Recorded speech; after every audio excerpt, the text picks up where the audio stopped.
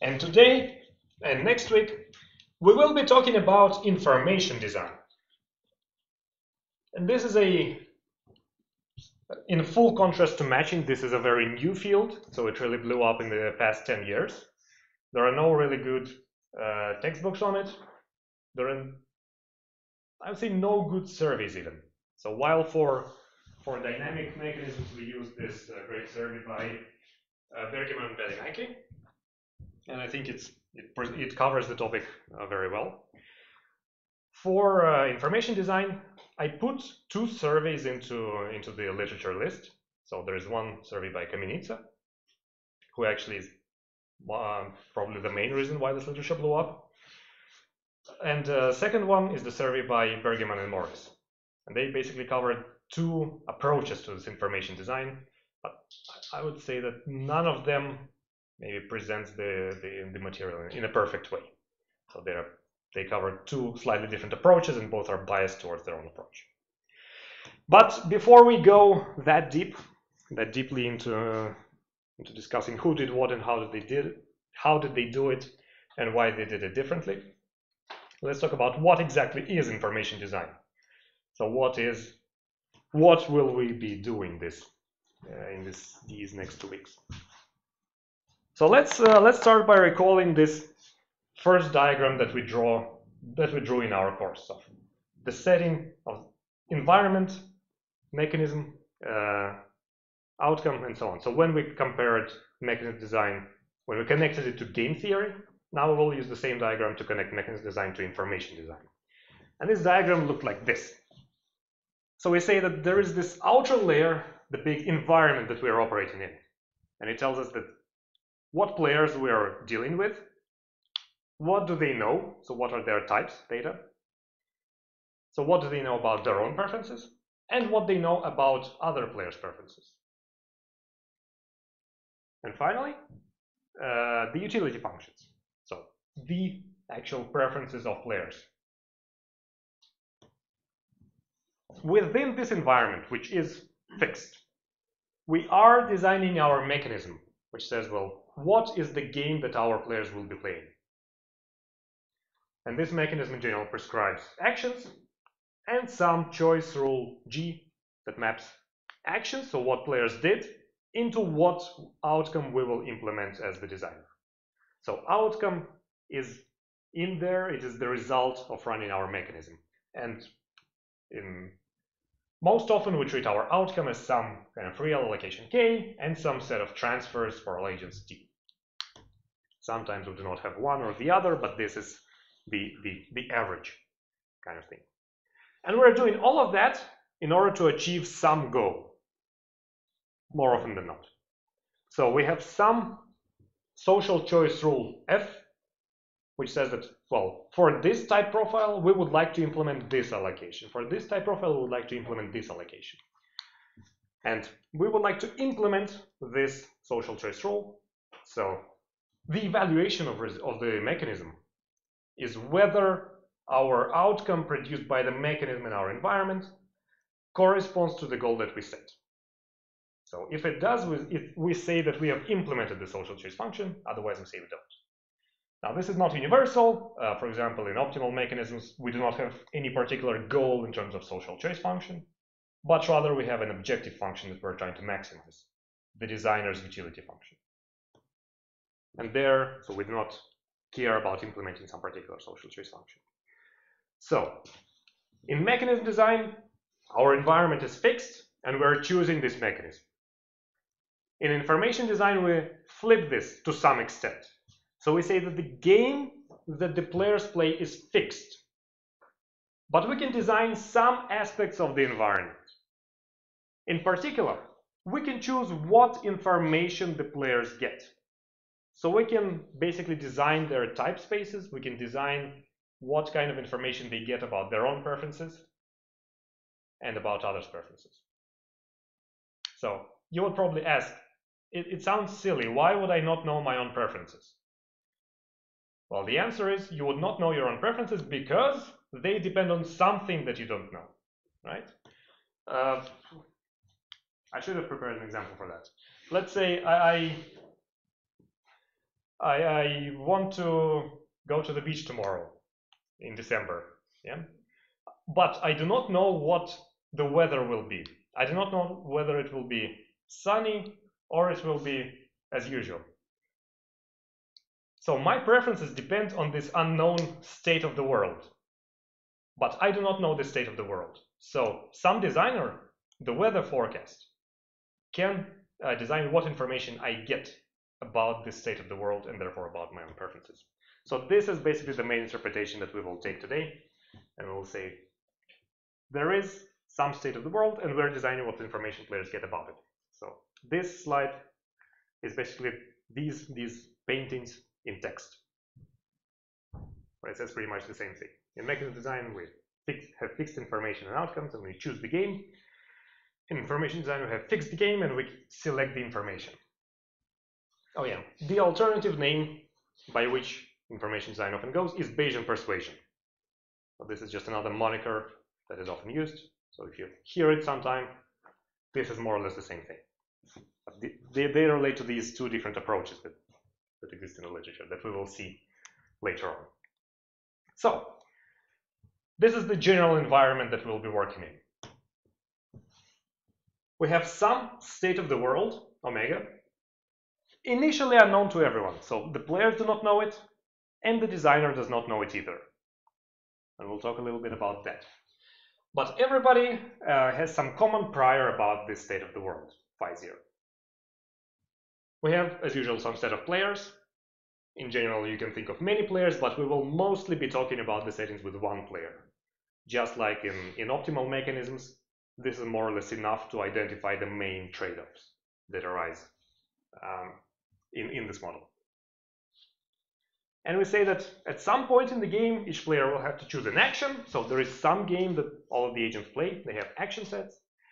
Uh, they each player has some utility function, which depends on the actions that everybody chose and the state of the world.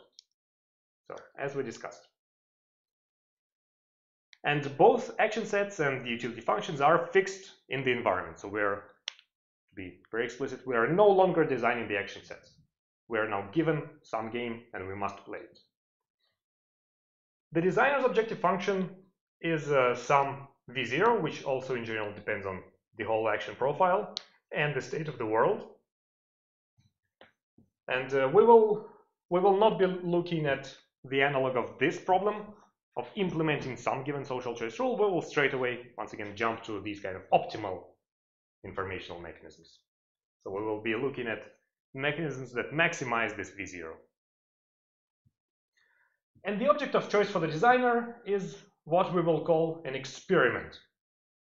An experiment is uh, just some communication strategy, so which maps states into distributions of messages for every player. So M is some set of messages, also in general part of, part of something that you can design. M to the power n means that we, we give a message to every player, and then we take a distribution over that. The, the way that you can think about this problem is to say that your state, omega, now, or in information design, is similar to the types of players, to the profile of types in the mechanism design problem. And the difference is now we start with players not knowing any of these, but we can reveal through this experiment uh, either player's own type or some information about others types.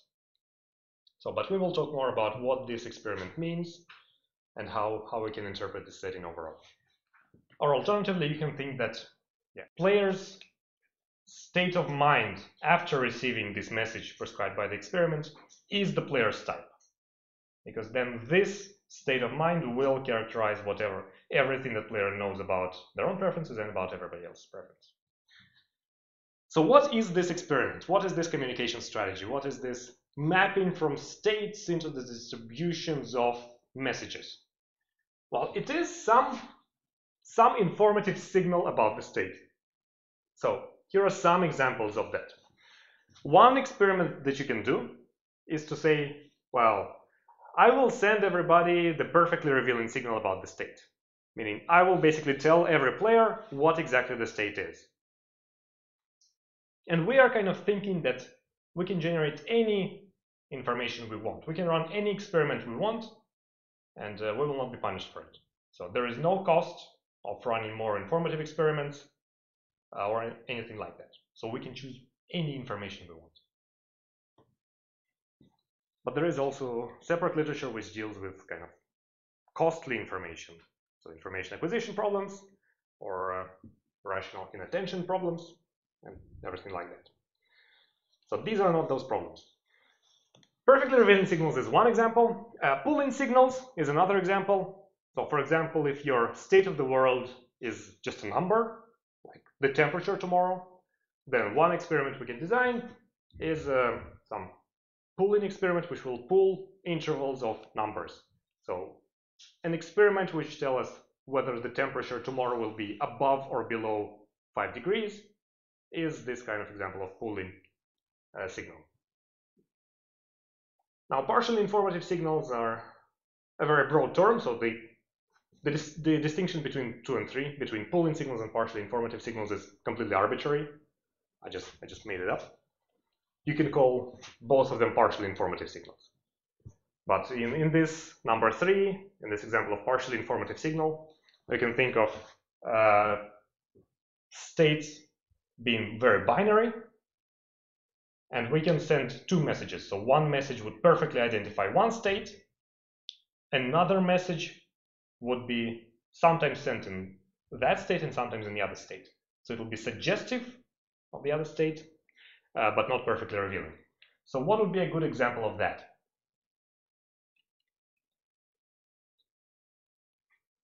Let's say the state is uh, whether I prepared for lecture or not right? and you asked me the question, did you prepare for lecture? If I did, I can say yes. But then, if I did, I can also say maybe. And if I did not, I will definitely say maybe. So in this case, yes is a perfectly revealing signal that I did prepare for lecture. My answer maybe is a partially informative signal. So it will tell you just by Bayes rule that I will likely, I likely have not prepared for lecture, but you cannot conclude this with certainty because sometimes I do that response even if I did prepare for lecture. So this is an example of partially informative signal. And uh, the, the very trivial thing that you can do is you can send a very uninformative signal. So you can just tell the players nothing.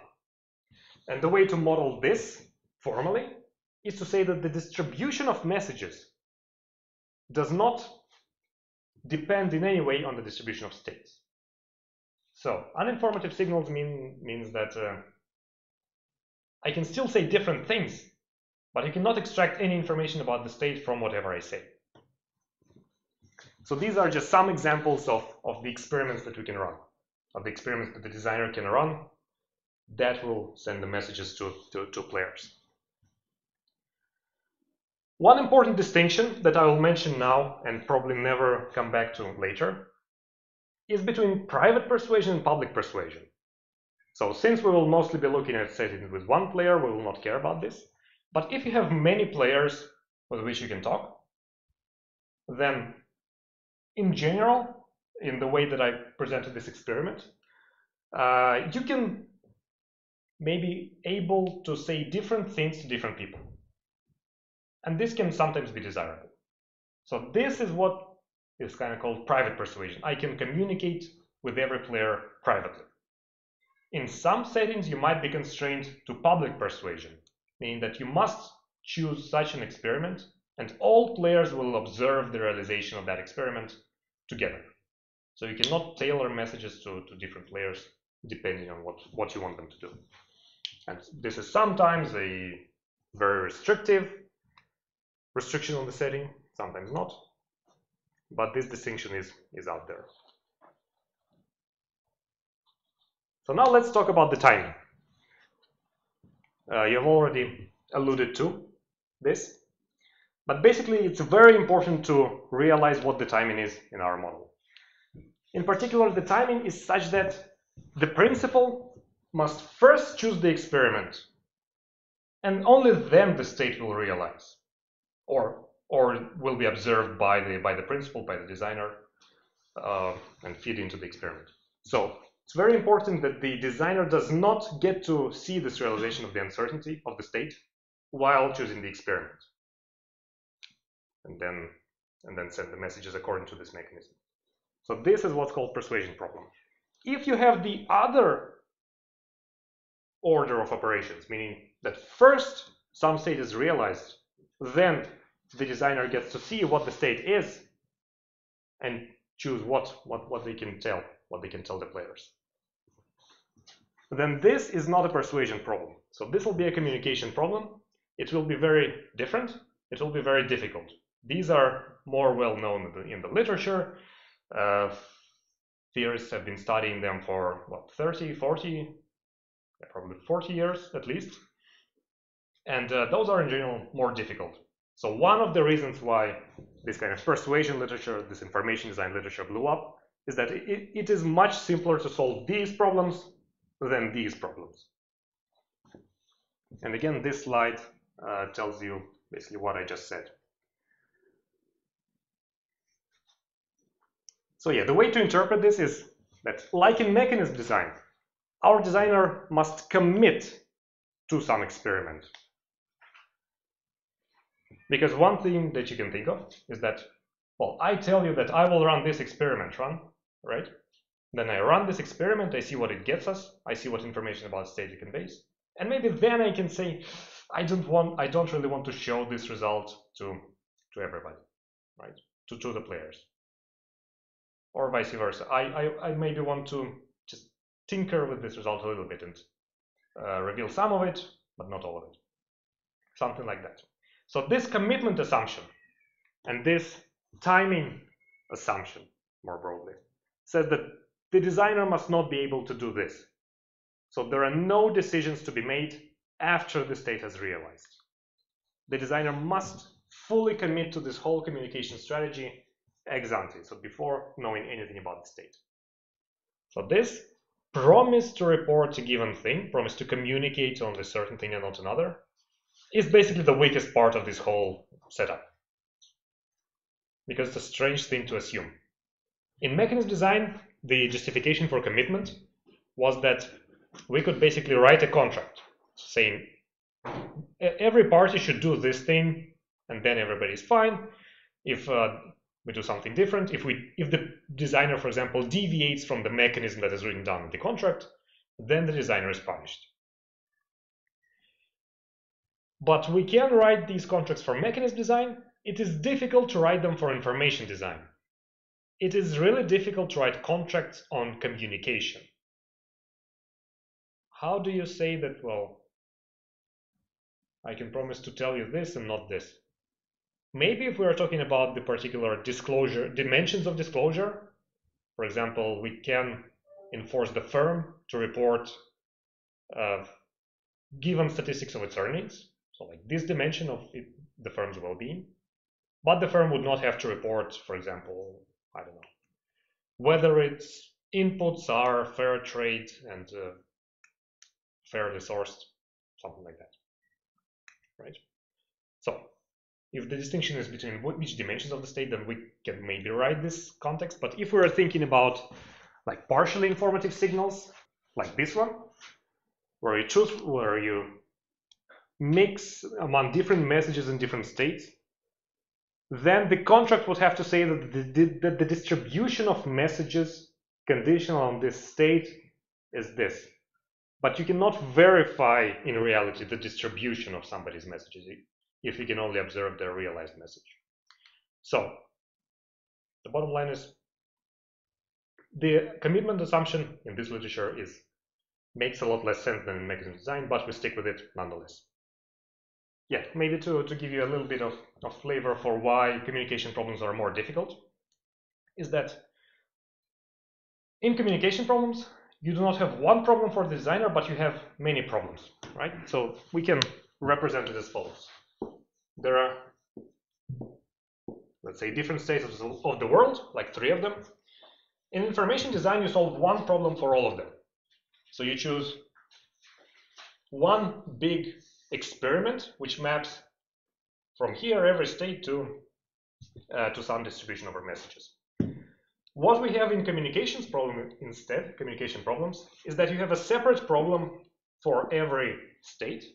So in this state, I must decide what I want to say. In this decide, I must decide what I want to say in this state, and so on. And these are kind of separate problems, but the problem is they are linked together. So this is the example here on the slide. Uh, for example, we have two states of the world. So a, a company can have high earnings or low earnings. And we have a CEO, a manager, who can communicate these earnings to the investor or to the general public. So if the earnings are high, the manager wants to say, well, you know, the earnings are actually high. But if uh, the earnings are low, then the manager probably also wants to say that the earnings are high, so as to not create panic among the investors, so as to not upset uh, his employers, the stockholders. So this would mean that this message of high earnings will be completely uninformative, right? Because it is sent in both states. So the manager's incentives to report high earnings in low state distort the meaning of this message that the manager would want to imbue this message with uh, in the high earnings state. So now let's finally talk about some examples of information design. So this is this list is from the uh, survey of Kamenica, and you can get the exact references to all the all these papers in there. Uh, where can we encounter information design and where can we apply information design in the real world? One example that I briefly mentioned last week as well is financial sector stress tests. So you have central bank, you have commercial banks that might or that may or may not be failing under crisis, so they may or may not have enough liquidity to meet all their obligations and so on. And you want to stress test these banks. You want to see how bad is the situation is the situation really with those banks. So on the one hand, you want to filter out the bad seeds, the the uh, failing banks. You want to clear the economy from them. On the other hand, you do not want to provoke the bank runs in the economy, right? Because those can crash pretty much any bank, even if it's good. So you can kind of you want to design this information in such a way that it would maybe filter out the worst banks, but it would not create any incentives for, for bank runs uh, after other messages. And this is the setting in which the central bank can commit to some testing strategy, so to some experiment over, uh, over the state of the world, where the state of the world is the bank's current condition, right? the central bank can say, well, we will look at this, this, and this accounting indicators. We will aggregate them according to this kind of rule, and we will reveal result in, in, in this in this way according to this scale. So we say the bank is solvent if its score is above this level. The bank the bank is not solvent if its score is above is below that level. And in this setting, it is reasonable to assume that yeah, the central bank can commit to some testing strategy. Uh, evaluation in schools can be another example. So the teacher can commit to some grading strategy, saying, well, whom do we give a 12, whom do we give a 10, whom do we give a 7, and so on, and whom do we fail? So you can think of many different trade-offs in that, in that setting. On the one hand, you want your students to have good grades because you want them to be able to uh, get into good college, get good jobs, and so on. So grades matter in some of those. Uh, on the other hand, you want to screen students to some extent. So you want maybe the good students to be to get better outcomes than worse students. But if you give everyone a 12, then this is not the case. Finally, you might want to give students the incentives to work. So you, you might want to commit to failing some people and this will kind of create incentives to work, to work for a higher grade. Okay, uh, employee feedback, law enforcement deployment, censorship, entertainment, financial OTC markets. these are some of the possible applications. I realize that I do not talk much about many of them, but you can read uh, this Kamenica survey, and basically most of it is going through all of these different applications and saying, well, how can we make information design work in all of these different settings? And you can see that most of these were written in the past 10 years, pretty much. So this is a literature that kind of blew up. So, as I told you, there are two different approaches to information design. And so far, I've been sticking to this one interpretation of information design, which I'll call the literal interpretation, meaning that we have some designer who designs these experiments and then tells them, uh, tells players about them. This second interpretation is kind of a metaphorical interpretation of information design. And it says that all these same tools can be applied as well for a different purpose. In particular, if we try to apply uh, these models to, to, to analyze the real world, and for example, when we look at some real world interaction out there, we can maybe see what game the agents are playing, but we do not know what information they're having, what information they have at their disposal when they're making decisions. So if we are the outside observers, analysts, and we try to predict what will happen in that setting, then we have to consider all possible information structures. And this is kind of what, what information design does, right? You have a fixed game, but you vary the information structures, and you see how the outcome changes with that, uh, with respect to the information structures. So there is no explicit designer, but it's rather the, the analyst trying to make predictions about the, the outcome of a given interaction without having full information. So there is no also maximization here. It's not about selecting the optimal information structure, but it's about considering all the information structures and maybe, I don't know, maybe looking at the worst for, for you. So considering the worst case scenario or the average scenario, something like this. So the first one, the literal interpretation, is kind of the Bayesian persuasion by Kamenica. The second one, the metaphorical interpretation, is the information design of Bergemann and Morris. We will mostly be sticking with the literal interpretation just for simplicity, but we will uh, apply the instruments from this metaphorical interpretation and see how they can be used to, to, to get the optimal informational mechanism in our literal interpretation. However, that will likely happen next week. And what we will do today, and probably for the rest of today, maybe we'll go a little bit further, but we will look at an illustrative example. So we will solve one simple problem in excruciating detail and see how would you proceed about solving information design problems, what kind of is the, what are the big ideas there, the big steps in the solution that you will use.